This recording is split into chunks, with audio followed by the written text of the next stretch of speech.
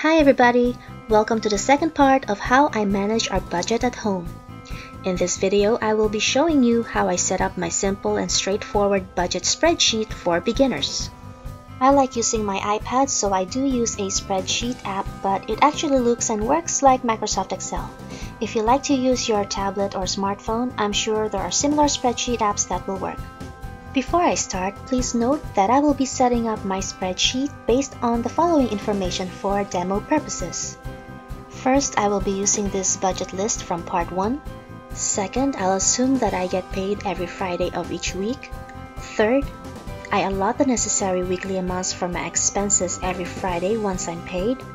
Fourth, budget for weekly expenses will cover the week from Friday to Thursday.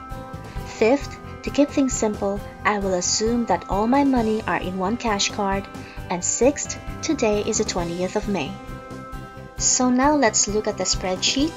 The first things that I like to see at the top are the total cash in card or the total amount of money that I have and the extra slash limit which I referred to in part 1. Since the numbers for both of these items will keep changing, I will be using a simple summation formula here later. Just below would be the actual changes in cards section where I will be noting down every amount that goes in or out of my cash card on any particular day. And over to the right would be the allotted budget still in cards section where I will list down all my expected expenses including savings. In the actual changes in card section, since I am just starting to set up my file, I will put the total amount of money I have in my card, which I will label as starting amount under today's date. Let's just say that I have 500 pounds. Over to the allotted budget still in card section, I will put all the expected expenses that I listed on my budget list and determine the amount that I should already have allotted for them by this time in relation to their due dates. The gas heating, electricity, and grocery are all weekly expenses, so the amounts that I have to indicate for them are pretty straightforward. If I haven't spent anything yet for any of these three items for the current week, then I simply copy the values that I listed down previously, which are 20 pounds each for gas and electricity and 50 pounds for grocery. The rent, landline, internet, and mobile phone credits are all monthly expenses, so I have to determine how much I should already have allotted for each item by this time in relation to their due dates. To do this, I simply find out how many paydays I have left before a due date. I then multiply this number to the weekly allotment that I listed in my budget list. Once I know that, I then deduct this number from the monthly amount that I would normally pay. Let's take a look at the rent for example. If it's due on the 1st of June and it's the 20th of May now, then I only have two paydays left to complete the amount that I need for rent. So it's going to be 2 times my weekly allotment of 100 pounds, which equals to 200 pounds. I then deduct the 200 pounds from the monthly rent of 400 pounds, which equals to 200. Therefore, by this time, I should already have 200 pounds allotted for rent.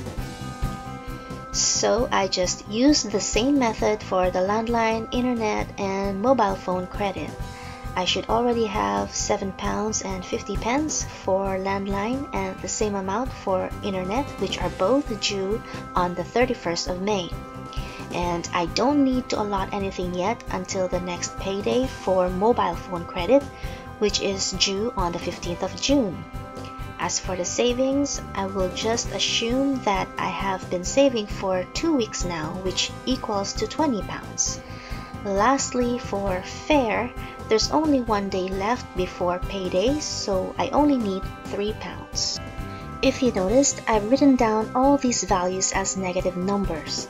This is very important because how the numbers are written will affect the results of the formulas that I will use. It is important to remember to write any amount that goes into the card such as salary or any amount received as positive numbers and any amount that leaves or are expected to leave the card along with savings should be written as negative numbers. Next, somewhere here, I will just put in a summation formula to get the total amount I have allotted for my expenses. Simply write it by starting with an equal sign, then sum, and then the cell range enclosed in parentheses.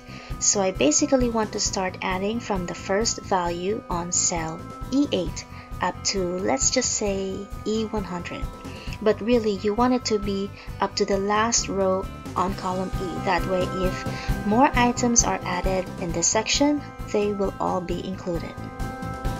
Then I will use the same formula for the total in cash card, except the cell range covered will be from cell B8 up to the last row on that column. At this point, obviously, the value that will appear should match my starting amount. For the extra slash limit, I will simply add together the total in cash card and my total allotted budget for expenses still in card.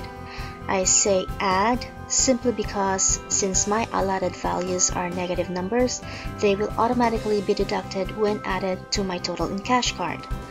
As you can see, even though I have 500 pounds in my cash card, I can really only spend 172 pounds if I wanted to splurge because I have 328 pending bills to pay. Once this is set up, it is quite easy to update.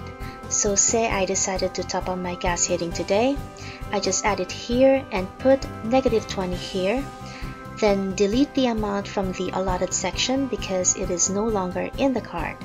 The same if I purchase my grocery for 40 pounds, just write negative 40 and then on the other side take out 40 pounds from 50 which will leave 10 pounds that is still in the card.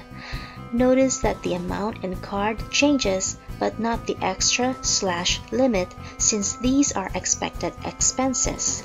If I take out 50 pounds to purchase something else, I simply write it here as well and this will affect the extra slash limit value since this is an unexpected expenditure.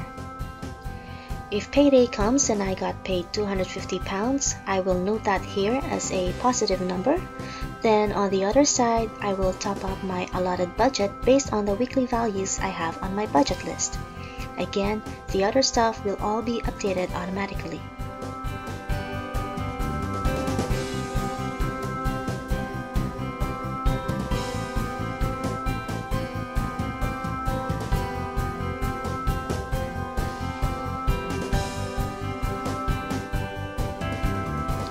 And that's it. Just keep in mind that to ensure the accuracy of this file, always cross-check the amounts with your cash card and bank statements, which are usually accessible online to make sure that they match. Don't forget to subscribe for more videos, and if you like this one, give it a thumbs up and share.